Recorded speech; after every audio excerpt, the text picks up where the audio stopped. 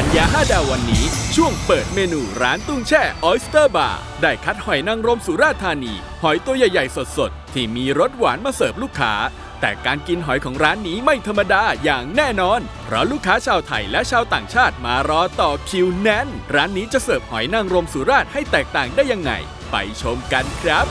คุณโบร้านอย่างนี้เลยนะ โอ้โหอย่างนี้เป็นแบบนี้เลย ยกมาทั้งร้านเลยฮะ ใช่ไหมนี่นี่อยู่จากเยาวราชริมถนนเนี่ยนะ แล้วแล้วแล้วชื่อว่าอะไรนะเนี่ย ตุ้งแช่ Oyster Bar ครับ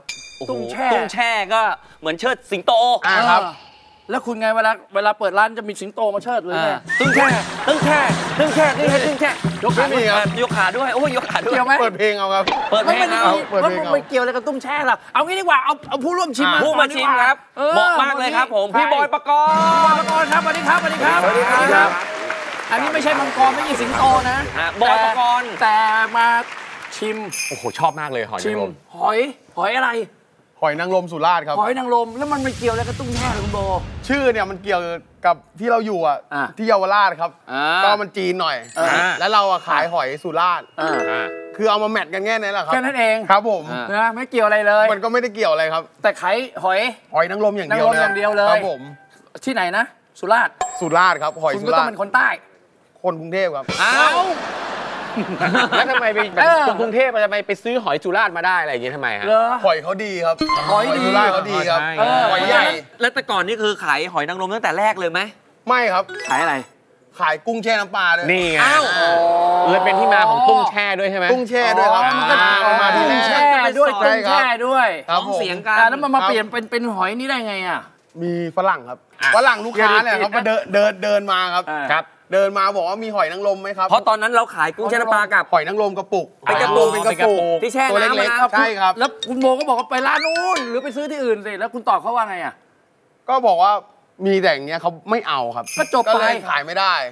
ก็จบก็เลยไปเปลี่ยนเลย เอ้าก็จบแค่นั้นพก็อจบไม่ไปต้องสนใจก็ได้คุณไปเปลี่ยนทำไมอะก็พี่ก็ขายกุ้งแช่น้ำปลามาตั้งนานแล้วจะมาเปลี่ยนเพราะฝรั่งคนเดียวทำไมอะ นั่นน่ะสิอ้าวนั่นน่ะสิไม่หรอกคือคนจะรวยอะอ่านะเหมือนจะมีดวงดวงจะมาฟ้ประทนดวงจะมาครับดวงอาจจะมาจะมาในร่างใครก็ได้อืมเพราะฉะนั้นใครที่ผ่านเข้ามาฟังดีๆครับ หรือคำแนะนำดีๆ นะ อาจจะเป็นจุดประกายแบบนี้เออจริงฝรั่งคนนั้นรู้ไหมว่าคุณเนี่ยเปลี่ยนชีวิตมาจนกระทั่งร่ำรวย ขายหอยนางรมอย่างเดียวอะคุณอยากจะบอกคุณฝรั่งเขาว่าอะไร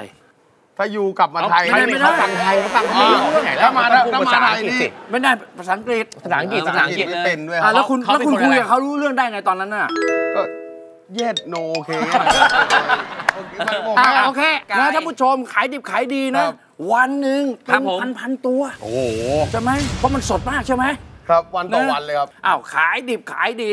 นะได้ได้มาจากสุราษฎร์ใช่ครับนะ ไม่ใช่คนสุราษฎร์ไม่คนคนสุราษฎร์แต่ได้มาจากสุราษฎร์เยอะโอะ มันมันมันมันดียังไงหอยสุราษฎร์หอยใหญ่ครับ หนึ่งใหญ่นี่พูดไม่พูดเล่นนะครับผม ใหญ่จริงใหญ่จริงใหญ่จใหญ่ริงจริงแล้วอะไรใหญ่จรินะงต่างชาตินี่เล็กเลยนะ สดใหญ่เต่งตึงโอ้ยใหญ่สดเต่งตึงแล้วรสชาติหวานรสชาติหวานหวานหวานหอมอะเปิดเมนูร้านตุ้งแช่ออ s สเตอร์บาร์ทางร้านจะนำหอยนางรมไซส์ใหญ่จากสุราษฎร์ธานี มาทานสดๆ พร้อมเครื่องเยอะมากไปชมกันเลยครับ พี่โบผมขอถามอีกอย่างหนึ่งครับ หอยนางรมเนี่ยมันมีไซส์ไหมร้านเราอะมีไซส์ครับมีสองไซส์สองไซส์โชว์อ๋อโชว์อันนี้คือไซส์ใหญ่อ่าถือไว้นะ แล้วไซส์ต่อไปคือไซส์อะไร อันนี้ไซส์ M ตรงไหนมันก็มันมันก็จริง ๆ ใหญ่เท่ากันเนอะคือต่างกันตรงข้างในไซส์ครับข้างในอ่าคือเราต่างกันแค่ไซส์ไซส์ไซส์ L เนี่ยเท่าไหร่ไซส์ L ราคาต่อตัวต่อตัว 100 บาท 100 บาท ไซส์ M ไซส์ M 80 บาท80บาทยาวคือหลักร้อยเป็นหลัก ใช่ครับ แล้วแล้วหอยจริง ๆ มาก็ต้องมาล้างก่อนใช่ไหม ใช่ครับ เราต้องล้างอ๋อทำทำความสะอาดเองทำไมเขาไม่ล้างมาให้จากที่นู่นครับ เดี๋ยวเขาจะเหมือนแบบว่าโดนทำร้ายมันอ่าช้ำมันตัวช้ำ ตัวตัวหอยใช่ไหมอ๋อมันจะช้ำใช่ครับ คงความสดให้มากที่สุดใช่ครับ โอ้โหพิถีพิถันมากเอ้ยเดี๋ยวทำอะไรฮะ เอาละเดี๋ยวจะต่อหอยแล้วครับอ๋อต่อเลยแปลว่าทุกครั้งที่ลูกค้ามานี่ คือตัวตัวต่ต่ออตัวตัวเลยครับโอ้ ก็ต่ออย่างนี้ตัวต่อตัวเลยเอาแล้วเอาแล้วต่อใหม่ทุกตัว ตองใหม่ทุกตัวครับ เออเอาละต่อยเลย อะเราคิดว่าเราเดินอยู่ที่เยาวราชนะ เราได้ยินเสียงนะ ใช่ไหมใช่คเสียรังบเราจะได้ยินเสียงป๊ป๊ออกกนี่ปักก็คือต่างเนี่ยๆแล้วก็ขายต่อหอยไปอยู่อย่างนี้ อันนี้แสดงว่ามันก็ต้องแบบมีกระดงกระเด็นกันบ้างนิดๆหน่อยๆใช่ครับเนี่ยนะวันหนึ่งสีสันวันหนึ่งสีสันสีสันวันหนึ่งก็ต่อนี้เป็นพันๆตัวต่อเข้าไปใช่ครับ โอ้โห ดูหอยดูอุ๊ยแต่หอยเอาดูดูขอขอให้ดูหน่อยช้ขอให้ดูช้อย่าเพิ่งนี่นี่นี่โอ้โหนี่อะอวบอิ่มสวยสดแน่นเต่งตึงอ่าเอามาใส่ใช่ไหมน่ากินน่าใส่กินไปใส่ไปในจานจานหนึ่ง อ่าอ่าอันนี้อันนี้คือตอกตอกให้เห็นนะใช่ครับอันนี้แล้วก็วางมีเลมอนอ่าเดี๋ยวอ่าเอาวางไว้ก่อน จริง ๆ ก็จะเสิร์ฟหนึ่งตัวแบบนี้ คือเอามันจะมีเครื่องเคียงดูหน่อยนะอะแต่ว่าอันนี้แบบว่าอ่าฝรั่งเป็นอย่างนี้ฮะฟัดเลมอนอย่างเดียวเขามีหลายวิธีนะนี่นี่เป็นหนึ่งวิธีหนึ่งวิธีครับหนึ่งวิธีอ่าหนึ่งวิธีแล้วบีบลงไปบีบลงไปบีบลงไปครับนะลงไปแบบนี้เลย แล้วไม่เอามะนาวด้วยเอาเลมอน เอาเลมอนหอมครับอ๋อมันได้จะความหอมนะลงคืออันมาเนี้ยเหมือนเวลาไปเมืองนอกอะถ้าไปนะ oyster bar มันจะกินอย่างนี้ครับกินแบบนี้ใช่อะกินแบบสากลเลย อ่าแค่นี้เอง แล้วอย่างนี้แล้วก็เทเลยใช่ไหม ครับ แล้วก็เอาช้อนเอามาดันให้เขาเรียกว่ายกซดครับเอายกซแล้ดวยก อ่าซเขาดเรียกว่ายกซด เอานะ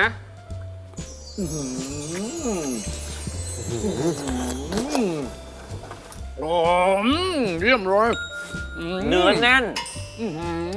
หวานคือหวานรสสัมผัสแรกเลยคือแบบหวานแล้วมาเจอกับเลมอนแบบเป็นหวานโอ้โหอมเปรี้ยวอร่อยมากอ่าอันนี้เป็นแค่สไตล์แบบสากลคือครับเลมอนเปล่าๆเลย แล้วก็ได้ความสดเนี่ยอ้าวลองต่อไปแล้วจะเป็นสไตล์อะไรทางร้านนี่ signature ของทางร้าน signature ครับเลยใช่เอาใส่ใส่ใส่เอาหอยก่อนเรานะต้องเอาหอยนางรมมาก่อนฮะจริงๆแล้วจะทุบจะทุบใช่ไหมใช่อ่าแต่แต่เราไม่ไม่ต้องทุบวันนี้แกะไว้แล้วสาธิตให้ดูสาธิตสาธิตให้ดูฮะนะแต่แต่ว่าคือสถ้าดหมด ถ้าที่ร้านเนี่ยสั่งใหม่เนี่ยก็จะมีเสียงป๊กแป๊กป๊กแป๊กปังมาตลอดเวลาถูกต้องเอ้าเดี๋ยวก่อนและอันนี้เป็นวิธีหนึ่งใช่ครับ แล้วนี่จะไปหยิบอะไรอะอันนี้ไข่แซลมอนครับอ่าฮะอันนี้ที่ว่าฮะ signature ของทางร้านครับอันนี้ของคุณโบคิดเองใช่ครับเหรอเพราะปกติไม่ค่อยเห็นนะเอาลงอย่างนี้เลย คุณหอยมาเจอกับคุณไข่ปลาแล้วครับผม เออดู ชื่ออันนี้เรียกว่าอะไรนะ เป็นตุ้ซิงกแช่ซิกเนเจอร์ครับตุ้งแช่ ซิกเนเจอร์ เอาแล้วมีอะไรอีกครับ อันนี้ยังอันไม่หมดนี้อีก อันนี้ไข่กุ้งครับ ไข่กุ้งไข่ดำกุ้งแซลมอนไข่กุ้ก็งยังไม่พอดำใช่ครับ เอากุ้งมาอีก ใช่ครับ โอ้โหสีสันมันดูน่ามันกินจะฮามากรูฮาราเข้าไปอีกเท่าไหร่ใช่ไหม อันนี้พหมอดยัยังงฮะฮะหมดยังฮะ เหลือ ได้ เหลือไข่แดงครัอ๋บอฮะ ใส่ไข่แดงนกกระทาไข่แดงของใคร มีกี่ไข่ทั้งหมดสรุปเดี๋ยว สามไข่ครับสามไข่ เดี๋ยวนี่เหรอไข่นกนกกระทา ใช่ครับ แล้วใช้แล้วแต่ไข่แดงแล้วแล้วทำไมต้องเอาไข่แดงอะพี่ มันจะเพิ่มความนัวครับเมื่อพอวางไปปุ๊บโอ้โหเออนะสีใช่เขาสีมันเขาขับกันอะมีส้ม มีดใช่คแล้รัวบก็เหลืองำใช่ไหมมันก็เลยตัดกันขึ้นมา แล้วรองด้วยเจ้าหอยนางรมอยู่ข้างล่างนะอ้าวเสร็จยังเสร็จยังยังครับยังอีกเหรออันนี้ก็เพิ่มความเป็นเยาวราชนิดนึงครัอะไรอ่ายังไงคือทองครับ แปะทองแม่เออกินได้กินไหมทองกินได้ครับทเอาองโลฟุตกเกตนี้คจะรับมีไหมหอยนางรมแปะทองคำโอ้โหโอ้อย่างนี้เลย นี่มันพัตตาคารแล้วเนี่ย ผมว่า อันนี้เป็นหมื่นแน่ร้อยห้าสิบบาทฮะร้อยห้าสิบบาทใช่ครับจริงปะเนี่ยใช่ครับถูกเออผมนึกว่าสักสามสี่ร้อยก็ได้นะ ใช่ อันนี้ร้อยห้าสิบโอ้โห แสดงว่าราคาย่อมเยาแล้วมีกระถิ่นด้วยอ่าก็อ๋อคือชุดนี้มีกระถินให้ด้วย ใช่ใช่ครับ ก็คือมีให้ทั้งหมดครับเอาแล้วางใครอยาวกดิได้เอาสีเขียวมาตัดเขีตัดยวอีกน่ารักตัดเขียวอะอีกตัดเขียวครับเนี่ยดำดำส้มเหลืองมาตัดเขียวอีกครับ เนี่ยต้องเป็นคนชอบกินถึงแบบลองนู่นลองนี่นะเขาคงใช่ครับเขาไม่ชอบโอ้เดี๋ยวก็เราผอมดูตาเรื่องยจริงหน่อยไม่ทันแล้วไม่ไหวเอาแล้วนะเอาลองเลยเหมือนคกัรับนเลยนะตักอ่าโอเคใช่ครับยกซดเหมือนกันนะอันนี้คุณเจแปบีนบเลมอนอะบีบเลมอนบีบเลมอนครับผมบีบเลมอน แล้วก็ใส่น้ำจิ้มซีฟู้ดอ่าก็ได้ครับเราใส่เห็นนะน้ำจิ้มซีฟู้ดด้วยก็ได้อ๋อเหรอใช่ตัวเด็ดเลยครับเอามามามาผมผมเอากินเอากินเดิมๆก่อนนะตามอ่าตามสูตรคุณครับซิกเนเจอร์คุณโบนะ อันนี้จะใส่น้ำจิ้มซีฟู้ดก็ได้เหรอ ได้คเอารับ เอาใครอยากจะใส่น้ำจิ้มซีฟู้ดนิดนึงหรือใครจะนิดนึงบอกผมเอาเอาเอามาไปมาไทยอยู่ตรงนี้ผมอยู่ตรงนี้เหรอ เอาเอามามาตักอันนี้ตัตัวกเด็ดเลยครับตัวเด็ดอ่าแล้วก็จะบอกอ่าเชฟตักให้หน่อยนะ ได้ผมด้วยหผมมดด้เลวยยเอาพี่ตาก่อนพี่ตาก่ไม่อนไม่ไม่ผมจะเอาเปล่าๆผมเอาจะแล้วลองเอาดูเอาผมด้วยผผมมจะด้วยลองดูผมจะลองดูอะโอ้โหจะได้ลองหลายแบบแล้วน้ำจิ้มซีอะผฟู้มดเอาคือเปล่าๆตามสูตรตามหน้าสูตตารดีมากอะตามสูตรคุณโบครับนะไปแล้วนะไปแล้วนะ ไปเลยนะครับดูได้ยังไง เออเอานะโอ้อื้อหืออื้อหือ เข้าใจเลยว่าว่าทำไมถึงขายดีพี่อื้อหือจากวันนี้พี่บอยอาจจะไปแอบซุ่มจริง ยก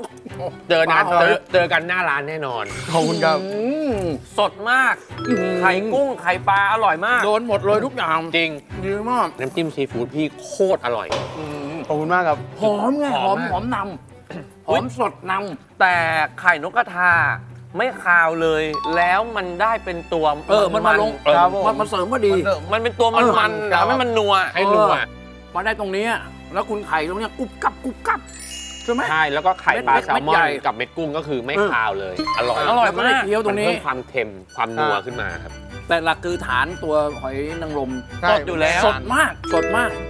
เนอะอุ่นๆแล้วยิ่งโอ้โหทานเย็นๆแบบนี้นะ แบบว่าคือมันอืมมันถูกแช่เย็นมาครับผมมาออกรายการปัญญาห้าดาวแล้ว กลับไปจะมีตื่นเต้นกว่าโอ้ยเมนูใหม่ คุณโบจะมีไหมมีมี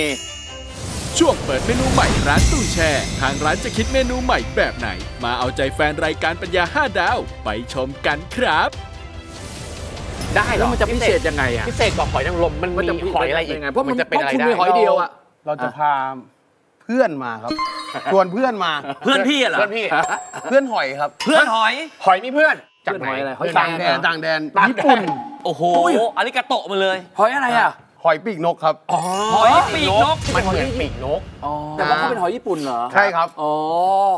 เอาละเอาแล้วก็คือจะมีหอยนางรมอ่าแล้วก็บหอยปีกนกเท่านั้นเองโอเคเป็นสองอย่างพิเศษแล้วใช่ไหมหมดหรือยังอย่างอีกหอยนึงครับฮะ แล้วเป็นหอยอะไระเป็นหอยอะไรฮะโอตาเตะโอ้นั่นเองโอตาเตะก็มาโอตาเตะไหนมาโอตาเตะก็มาเอาแล้วเอาแล้ว จากนี้ไปเมนูใหม่ก็คือสามหอยนั่นเองสามครับหอยใช่ครับจบแล้วยังชวนเพื่อนไข่มาอีก อ๋อเขาเด่นไข่เขาเด่นไข่ด้วยเพื่อนหอย กลัวไข่น้อยหน้าอ่าตะกี้เพื่อนหอย แต่แต่ฮะแต่นี่ของคุณเพื่อนไข่เป็นซิกเนเจอร์ไข่ครับเป็นอะไรเดิมมีเป็นอะรไข่แซลมอนเอาไข่ไข่กุ้แซลงมอนมาแล้วก็เอาไข่แซลมอนไข่นกกระทาอ่าแล้วคุณชวนสามไข่ละแล้วคุณชวนเพื่อนไข่อะไรอูนิก็มานี่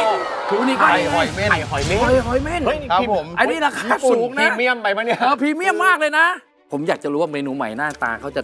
จัดวางยังไง นี่อันี่นี่ขายริมถนนจริง ๆ ใช่ไหมใช่ครับอันนี้มันอยู่อยู่บนนั่นน่ะสิยี่สิบแปดยี่สิบสามนู่นใช่ไหมเอาเบิร์นเฮ้ยเดี๋ยวนะไฟคุณเบิร์นด้วยเบิร์นไฟด้วยครับเฮ้ยโอ้โหเฮ้ยอะไรเนี่ยเอาแล้ว นี่มันโอเอ้ามากาเสะริมถนนแล้วเนี่ยออเออเอออันนี้คืออะไรครับโอตาเตะโอตาโอเตะตาเตะอันนั้นเนี่ยอะไรอันนี้ครับมาแล้วพูดปีด้วยกมาแล้วพูดด้วยหอยปีกนกครับหอยปีกหอยปีกนหกอยปีกนกนะครับเนี่ยหอยปีกนกมันก็จะเริ่มมีสีสันเข้ามาแล้วเห็นไหมใช่ครับอ้าวมาละนี่อะไรอ่านี้นี่ไข่แซลมอนมาแล้วโอ้โห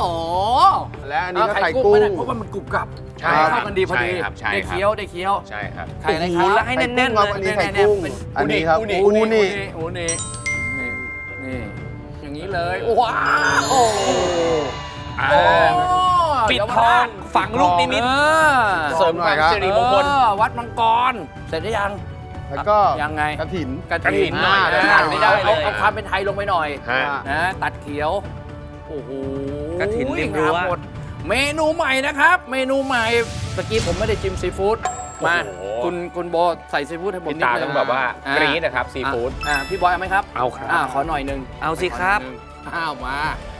ห นึ่งอ้าวมาแม่นะใครจะมีรสชาติแบบนี้บ้าง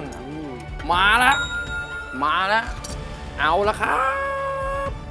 แม่จัดเลยนะฮะ จัดแล้วนะท่านผู้ชม เราค่อยๆโยนโฉมพอเขานะแล้ฮะวไปแล้วไปแล้วเฮ้ยเฮ้ยเฮ้ยไงมาผมไปด้วยแล้วอ๋ออืมอื้อหืออื้อหือโอ้โหมันใช่เลย ทำให้ได้มีแบบรสชาติรสชาติเพิ่มอีกนิดนึงครับผมใช่ครับนะมันก็เลยเกิดเหตุขึ้นมา คุณหลับตาทำไมครับคุณเจแปนมันพริมอะฮะมันอร่อยมากดีมาก ไม่น่าเชื่อว่าเพื่อนเขาเนี่ย จะเข้ากันกับดีมากหอยนางรมได้ดีมาก เพราะว่าหอยปีกนกเนี่ยมันอืมเพิ่มเท็กเจอร์ มีความอืมกรุบส่วนหนึบๆนะโคตาเตะเนี่ยมันพอไปเบิร์นปุ๊บอะมันมีกลิ่เบิร์นด้วยมันมีกลิ่นแบบโอ้โหมันมีเออสโมกใช่ใช่ใช่เอใช่อแล้วมาตัวนี้นี่นี่นี่นี่นี่อูนิอูนิพิ่มก็ได้เป็นการเชื่อมโลกนะใช่เข้ามาอร่อยมากจานละเอ่อเอ่อตัวละกี่หมื่นอะมา250 บาทถูกขัดทุนหรือเปล่าเอ้ยยังไงอันนี้มันต้องสามสี่ร้อยใช่ไหมโอ้โหอันนี้เอาเอาแค่นี้พอ เอาแค่นี้พออันนี้แล้วจะตั้งชื่อว่าอะไรต้องชื่อว่าอะไร มีเพื่อน มีเพื่อน มีเพื่อนมาเพื่อนหอย สหายอ่าโอ้เดี๋ยวเดี๋ยวเดี๋ยวอ๋ออ่าแหมคุณมีคำหรูอ่าครับเขามีเพื่อนและคำสุภาพด้วยไม่สุภาพนะมีเพื่อนหอยเพื่อนเพื่อนไงก็เลยตั้งสหาย สหายเพราะเยอะหน่อยเพราะเยอะเลไอ้ยยสั่งสหายหนึ่งที่ยังไม่รู้เรื่องสสหายหายมหาสมุทรสหายมหาสมุทรโอ้โหโอ้นี่ชื่อเท่เป็นเจ้าของร้านเลยนะเนี่ยจับมือหน่อย สหายมหาสมุทรโอ้โหเกิดขึ้นแล้วสุดพรุ่งยอด นี้เป็นต้นไป อยู่ในหอยนางรมงามงดงดงามหอมสดอย่างนี้นะ ราคาย่อมเยาสองร้อยห้าสิบบาท 250 นะโอ้ฮะผมบอกเลยสุดไม่ยอดแพงไม่แพงคุ้หมอมหวานค่อร่อยอร่อยเลยครับ นะฮะ อ้าวอยู่ตรงไหนสถานที่ชื่ออะไรย้ำอีกทีหนึ่งเลยครับแนะเชิญนำเลยครับพี่โบครับ ตุ้งแช่ Oyster Bar ครับนี่ ทางซอยแปลงนามเยาวราชครับ ไปยังไงอะ MRT วัดมังกรประตูหนึ่งครับได้เลย แค่นั้นใช่ครับเลยนะโอเคเห็นเปิดกี่โมงนี่แหละ เปิด 5 โมงครับ ถึง 4 ทุ่มหรือว่าของหมดโทรมาจองก่อนได้ครับเอาต้องโทรจองเหรอใช่ครับกลัวพลาดครับเพราะมีจำนวนจำกัดครับแต่ละวัน จองเนี่ยต้องมานะ จองเนี่ยต้องมา ใช่ใช่ มีวันหยุดไหม หยุดวันจันทร์ครับ วันจันทร์ วันจันทร์วันเดียว อ้าวทั้งหมดนี่ก็คือร้านนะฮะตุ้งแช่ออ s สเตอร์บาร์นะฮะร้านนี้ก็จะมีเมนูใหม่เกิดขึ้นครับนะฮะสหายมหาสมุทรครับผมก็ไปลองชิมกันกับเมนูเดิมก็ยังมีอยู่นะครับร้านนี้ก็จะได้เข้าสู่ทำเนียบร้านอร่อย ก็ขอมอบและการันตีว่านี่คือร้านอาหารระดับปัญญา 5 ดาว ตุ้งแช่ออ s สเตอร์บาร์มอบให้ครับโอ้สุดยอด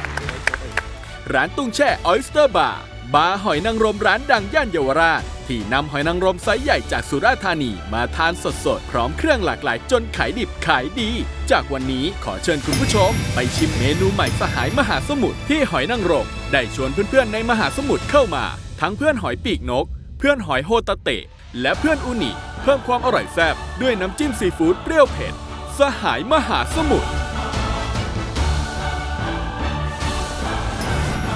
เปิดร้านอร่อยร้านต่อไป ร้านเจนกกระทอนซิงร้านที่ขายผลไม้สดๆ ตามฤดูกาลเต็มร้าน กับเมนูที่ขายดิบขายดีคือ กระท้อนส่งเครื่อง กระท้อนนุ่มหนึบหวานอร่อย ทานคู่น้ำราดเครื่องแน่น ที่เป็นสูตรพิเศษของทางร้าน และยังมีผลไม้ตามฤดูกาลสดๆ ทานคู่น้ำจิ้มรสเด็ด ขายดี สัปดาห์ละเป็นตัน ร้านชื่อว่าอะไรนะคะ จเจ๊นกกระทอนซิ่งค่ะ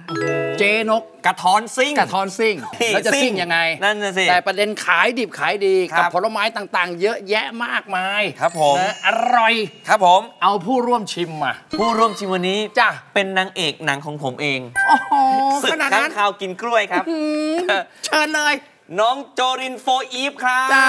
เชิญค่ะสวัสดีสวัสดีค่ะนี่สวัสดีค่ะ นะถ่ายหนังนางเอกหนังครับเออนะแล้วก็โอ้โหงานเยอะเลยครับผมชวนมาทานผลไม้นะของเจ๊นกพี่นกนี่แหละ คือผลไม้ต่างๆ มันหลายอย่างนะ ที่ร้านเพียบเลยใช่ไหมฮะใช่ใช่ไหมแต่ประเด็นคือ ขายดี ดีมาก ขนาดนั้นเลยเหรอ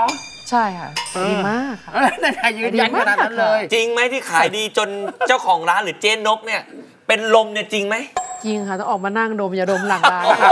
เลิกแปลว่าลูกค้าเยอะมากลุมลูกค้าลุมอย่างนี้เหรอแล้วเราต่ไม่อแถวยาวมากอ๋อเราจะสงสารหรือจะดีใจหรือจะอะไรดีอะนะขายดีเนาะมีขายหน้าร้านด้วยเออแล้วก็มีขายออนไลน์ อาทิตย์เดียวนะ เป็นตันๆจำนวนเป็นตันๆต่าง ๆ เนี่ยใช่นะค่ะใช่ค่ะอืม เนี่ยเท่าแล้วที่ที่ร้านเราเห็ก็นไม่ธรรมดานะฮะ นะที่ร้านนี่คือมีเออ มีรับหิ้วด้วย ขายดีจนแบบว่าขายไม่ทันหน้าร้านจนต้องให้คนอื่นอะ มารับหิ้วแล้วเอาไปขายต่อหน่อย เออจองมาเราเราไปให้คนมาจองใช่ไหมใช่ครับ ทั้งวงอะนะให้ใครไปหิ้วเธอเอามามามาฉันฝากกับฝากด้วย ใช่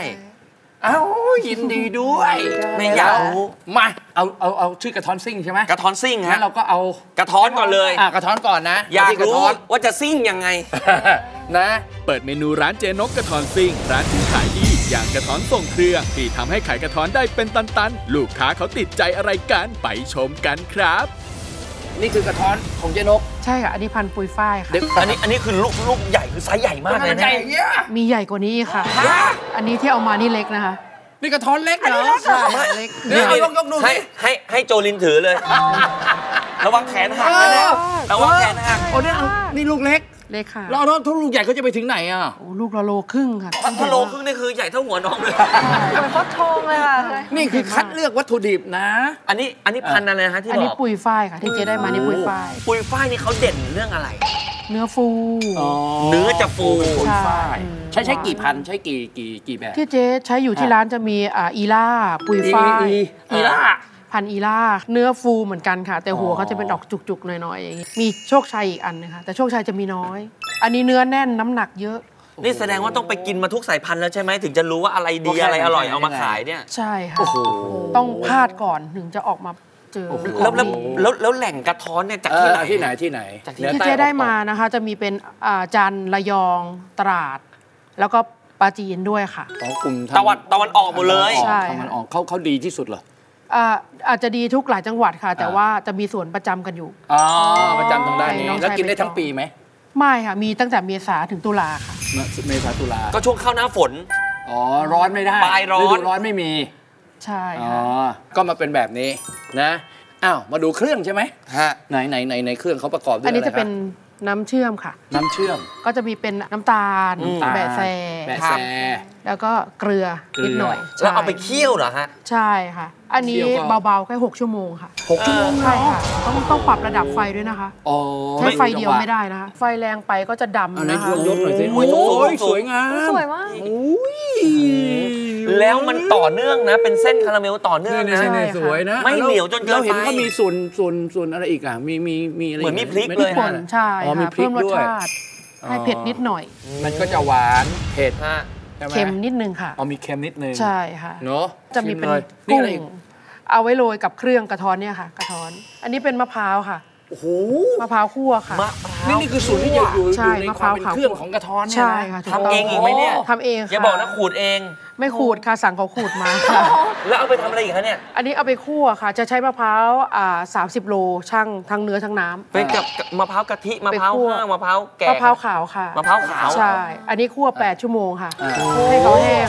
ยังไม่จบนี่คือเครื่องที่ทานเฉพาะนะที่กระท้อนกระท้อนเนี่ยนะทรงเครื่นี่องอะไรคะอันนี้ถั่วค่ะคั่วเองไหมคั่วเองค่ะ โอ้โห ตากแดดไหม ไม่ตากค่ะ กี่อันนี้ชั่วโมงคั่วอย่างเดียวค่ะ อันนี้ปรับระดับได้ค่ะ 3 ชั่วโมง 4 ชั่วโมงได้อ่าแล้วแต่คั่วเลยแล้วแต่คั่วเลย ก็นาน แต่จะไม่หยาบจนเกินไปนะใช่อ๋อให้ค่ะยังเคี้ยวมีเม็ดเม็ดๆให้ให้ได้ได้เคี้ยวเคี้ยว บุกต้องบุกด้วยค่ะอ๋อเออ นะอ้าวมาบอกให้ดูดีกว่าหั่นให้ดู ได้ค่ะว่ากระท้อนอันนี้ เราจะใช้ตรงไหนครับทำเองไหมหรือว่าเดี๋ยวนี้ก็ลูกน้องทำแล้ว เดี๋ยวนี้ลูกน้องค่ะลูกน้องสอแล้วนยัง แล้วยังทำเป็นอยู่ไหมเป็นค่ะ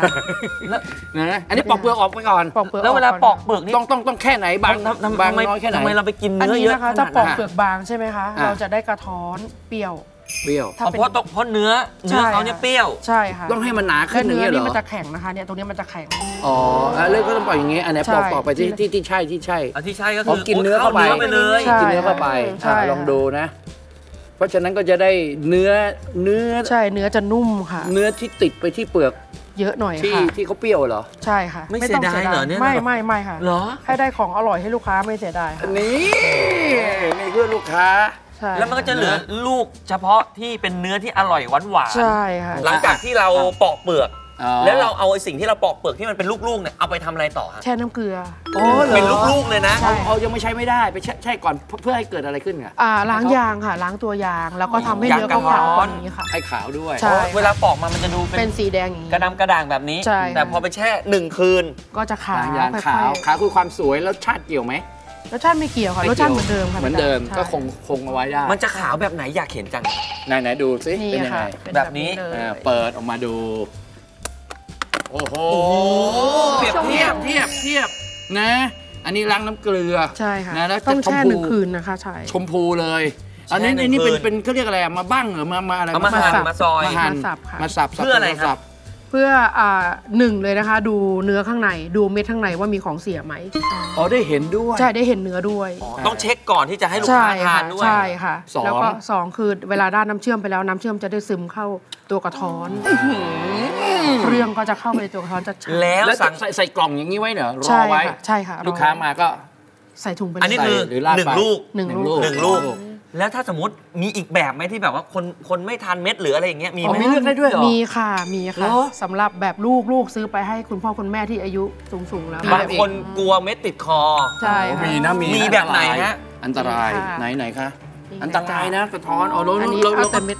แยกให้ด้วยเหรอ ใช่ค่ะอันนี้เป็นแบบแบบไหนฮะ ไม่เอามีแต่เม็เม็ดดเลย ออกค่ะ ใช่ค่ะแบบคว้านเหรอ ใช่แบบคว้านตัดนี่แปลเอาว่าแต่เรามีเนื้อกับกับตัวอะไร กับตัวฟูๆปุยปุยปุยอยู่ค่ะ อ๋อ ตัวเม็ดไม่มีเลยไม่มีเลยเอออย่างนี้ดีค่ะ อันนี้คือแบบว่ากินโดยที่ไม่ต้องห่วงเรื่องเม็ดเลย ใช่ค่ะไม่ยั้งละอันนี้ไม่ยั้งเลย เออนี่ดีแฮะ อันนี้ผมดูทรงแล้วน่าจะมากกว่าหนึ่งลูกนะใช่ค่ะหนึ่งลูกกว่าค่ะเพราะมันใช้เนื้อเยอะใช่ โอ้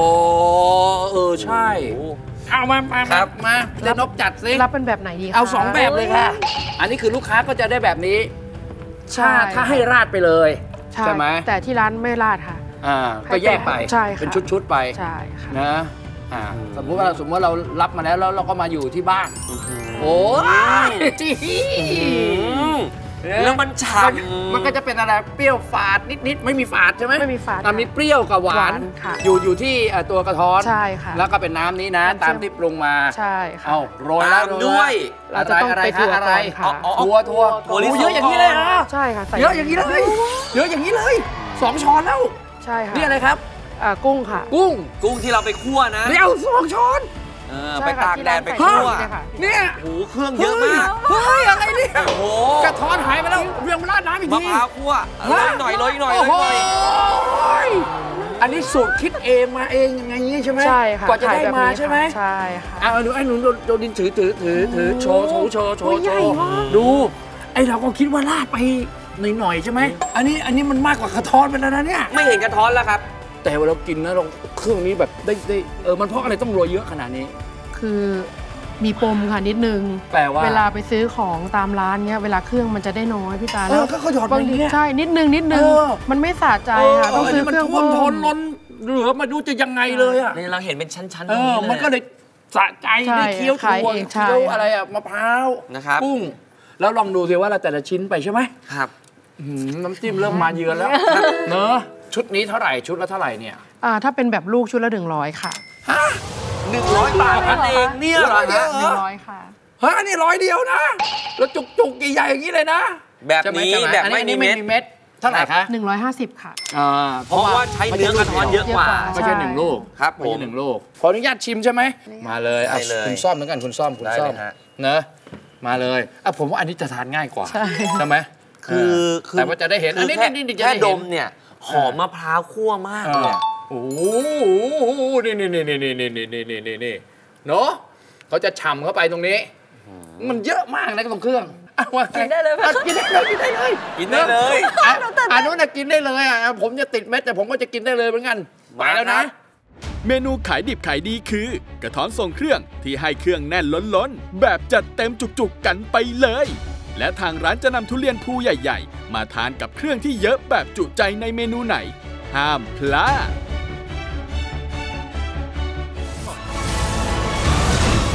ปัญญา 5 ดาว